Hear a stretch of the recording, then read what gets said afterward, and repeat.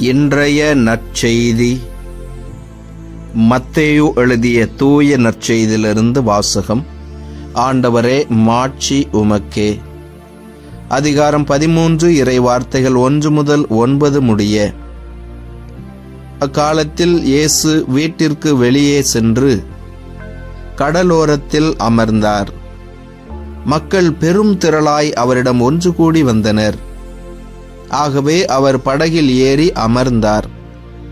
திரண்டிருந்த மக்கள் அனைவரும் கடற்கரையில் நின்று கொண்டிருந்தனர். அவர் ஓமைகள் வாயிலாக பலவற்றை குறித்து அவர்களோடு பேசினார். விதைப்பவர் ஒருவர் விதைக்கச் சென்றார். அவர் விதைக்கும் பொழுது சில விதைகள் வழியோரம் விழுந்தன. பறவைகள் வந்து அவற்றை விழுங்கிவிட்டன. வேறு சில விதைகள் மிகுதியான மண் இல்லா பாறை பகுதியில் விழுந்தன. அங்கே மண் ஆழமாக இல்லாததால் அவை விரைவில் முளைத்தன. ஆனால் கதிரவன் மேலே எழ அவை காய்ந்து வேறில்லாமையால் கருகி போயின. மற்றும் சில விதைகள் முட்செடிகளின் இடையே விழுந்தன. முச்செடிகள் வளர்ந்து அவற்றை நெருக்கிவிட்டன ஆனால் இன்னும் சில விதைகள் நல்ல நிலத்தில் விழுந்தன. அவற்றுள் சில நூறு மடங்காகவும் சில அறுபது மடங்காகவும் சில முப்பது மடங்காகவும் விளைச்சலை கொடுத்தன. கேட்கச் செவியுள்ளோர் கேட்கட்டும் என்றார். ஆண்டவரின் அருள்வாக்கு கிறிஸ்துவே உமக்கு புகழ். என் ஆண்டவர் இயேசுவில் அன்பு நிறைந்த தமிழ் கேத்தலிக் டிவி நேயர்களே உங்கள் அனைவரையும் உயிர்த்த நம் ஆண்டவர் இயேசு கிறிஸ்துவின் பெயரிலே அன்போடு வாழ்த்துகின்றேன். உங்கள் அனைவருக்காகவும் நான் திருப்பலி ஒப்பு கொடுத்து சிறப்பாக ஜெபிக்கின்றேன். இன்றைய நாளிலே நம் ஆண்டவர் இயேசு கிறிஸ்து வீட்டிற்கு வெளியே வருகிறார். கடலோரத்தில் அமர்ந்து விவசாயம் சார்ந்த ஒரு ஓமையை சொல்லுகிறார். அந்த ஓமையின் வழியாக நாம் முப்பது மடங்காக அறுபது மடங்காக நூறு மடங்காக பலன் கொடுக்க வேண்டும் என்பதை நம்மிடத்திலே சொல்லுகிறார். அன்பிற்குரியவர்களே ஆண்டவர் ஒவ்வொரு நாளும் இறை வார்த்தையை நம் உள்ளத்திலே விதைத்து கொண்டே இருக்கிறார். நாமும் ஜெபம் செய்வதன் வழியாக இறைவனுடைய வார்த்தையை வாசிப்பதன் வழியாக திருப்பலியிலே கலந்து கொள்வதன் வழியாக இன்னுமாக நல்ல காரியங்களை செய்வதன் வழியாக ஆண்டவர் விதைக்கக்கூடிய அந்த விதைகளையெல்லாம் நம்முடைய உள்ளத்திலே ஒவ்வொரு நாளும் ஏற்றுக்கொள்ளுகிறோம். அப்படி ஏற்றுக்கொண்டு நாமும் பலன் கொடுத்து கொண்டுதான் இருக்கிறோம். முப்பது மடங்காக அறுபது மடங்காக நூறு மடங்காக நாம் நம்முடைய வாழ்க்கையில இன்று வரை பலன் கொடுத்து கொண்டுதான் இருக்கிறோம். ஆண்டவருக்கு அதற்காக நன்றி சொல்லுவோம். நம் வழியாக ஆண்டவர் எத்தனையோ நன்மைகளை செய்திருக்கிறார். நம்மை ஆண்டவர் ஆசிர்வதத்தை வதித்ததன் வழியாக நாம் பல சாதனைகளை செய்திருக்கிறோம். இந்த விளைச்சலை கொடுத்தது இந்த வெற்றியை கொடுத்தது நம் ஆண்டவர். அவர்தான் நம்மை ஆசிர்வதித்திருக்கிறார். அவர்தான் நம்மை வளர்த்திருக்கிறார். அவர்தான் இந்த மண்ணுலகத்திலே நாம் பிறக்கும்படியாய் செய்திருக்கிறார். எனவே இந்த நாளிலே நாம் ஆண்டவருக்கு நன்றி சொல்லுவோம். என் அன்பிற்குரியவர்களே ஆண்டவர் விதைக்கக்கூடிய அந்த இறை வார்த்தை என்னும் விதை என்பது நம்முடைய உள்ளத்திலே ஒவ்வொரு நாளும் விதைக்கப்படுகிறது. ஆனால் ஒரு சில நாள்களிலே அந்த விதைகள் வழியோரம் விழுந்த விதை போல பாதையிலே கிடக்கிற பொழுது பறவைகள் வந்து விழுங்கிவிட்டு போய்விடக்கூடும். மிகுதியாக மண் இல்லாததனால் பாறை பகுதியில் விழுந்திருப்பதனால் ஆழமாக செல்ல முடியாத வேர்கள் கருகி போயிருக்கக்கூடும். கதிரவன் வந்து அந்த வேர்களை காய வைத்திருக்கக்கூடும். இன்னுமாக முச்செடிகளுக்கு மத்தியிலே விழுந்த விதையைப் போல முட்கள் வந்து நெறித்து பலன் கொடுக்க விடாமல் போயிருக்கலாம். பறவைகளும் கதிரவனும் இன்னுமாக முட்செடிகளும் எப்படி ஒரு விதையை வளர விடாமல் தடை செய்ததோ அதுபோல நம்முடைய வாழ்க்கையிலும் சில மனிதர்கள் உண்டு. சில சூழல்கள் உண்டு.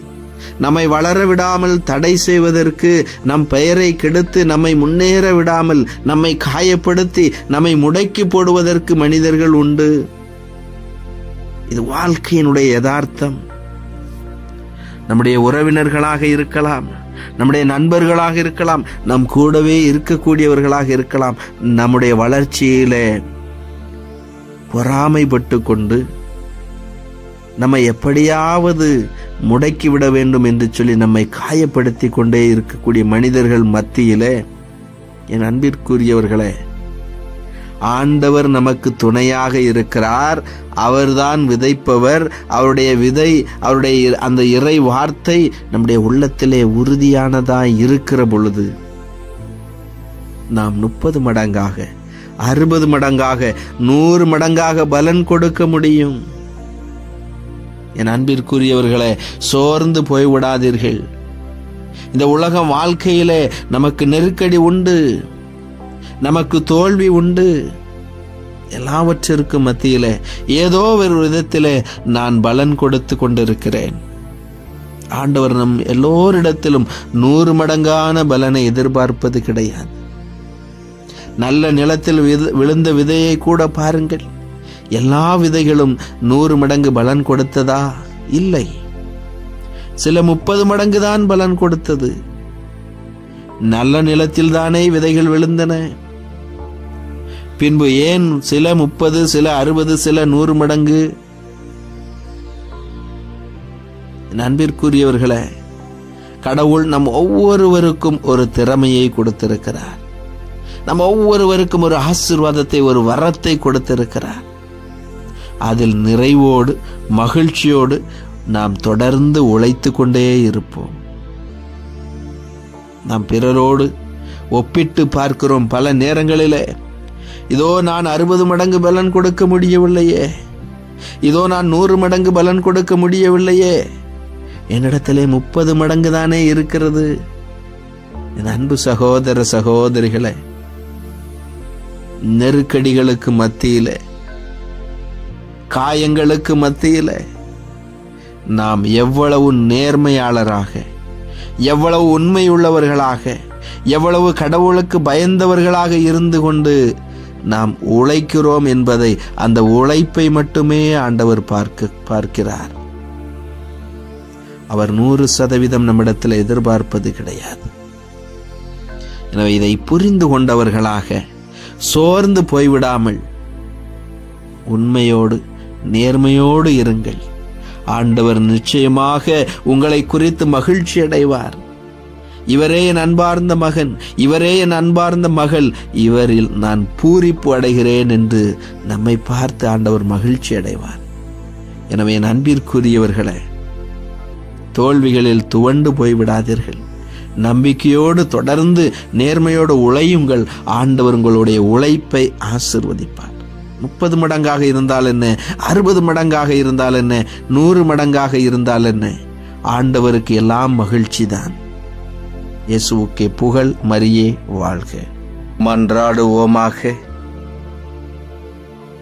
எங்கள் உள்ளத்தில் ஒவ்வொரு நாளும் இறை வார்த்தையை விதைக்கும் ஆண்டவரே உம்மை போற்றி புகழ்ந்து உம்மை ஆராதிக்கின்றோம் உமக்கு நன்றி செலுத்துகின்றோம். இதோ இந்த புதிய நாளை நாங்கள் காணும்படியாக செய்திருக்கிறீரே. ஆண்டவரே உமக்கு நன்றி. இந்த நாளிலும் நீரே எங்களுக்கு உதவி செய்ய விரைந்து வாரும். இந்த நாளை ஆசிர்வதித்து தாரும். இந்த நாளிலே நாங்கள் சந்திக்கக்கூடிய நபர்களை ஆண்டவரே நீர் ஆசிர்வதியும். நாங்கள் எடுக்கக்கூடிய முடிவுகளை ஆசிர்வதியும். எங்களுடைய முயற்சிகளை ஆசிர்வதியும். இந்த நாள் மகிழ்ச்சியின் வெற்றியின் ஆசிர்வாதத்தின் நாளாக எங்கள் ஒவ்வொருவருக்கும் அமைய வேண்டுமாய். ஆண்டவரே நீரே அருள் ஆசீர் தருவீராக. எங்கள் குடும்பத்தில் உள்ளவர்களை ஒப்பு கொடுத்து ஜெபிக்கிறோம் ஆண்டவரே. ஒவ்வொருவரையும் நீரே உடைய ஞானத்தினால் நிரப்புவீராக. நாங்கள் என்னாலும் உமக்கு உகந்த பிள்ளைகளாக இருக்கும்படியா நீர் ஆசிர்வதியும்.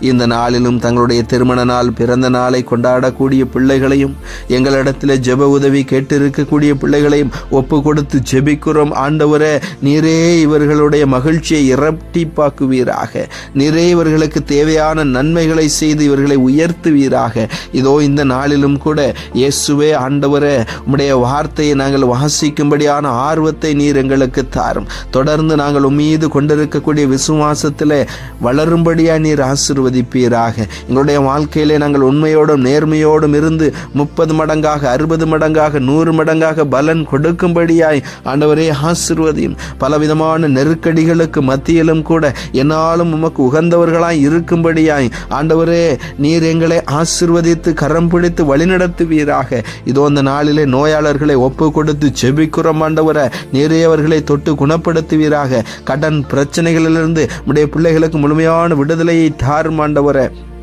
குழந்தை செல்வத்திற்காகவும் வேலை வாய்ப்பிற்காகவும் திருமண காரியங்களுக்காகவும் ஜெபிக்கக்கூடிய பிள்ளைகளை ஒப்பு கொடுக்கிறோம் தொடர்ந்து ஜெபிக்கிறோம் ஆண்டவரை.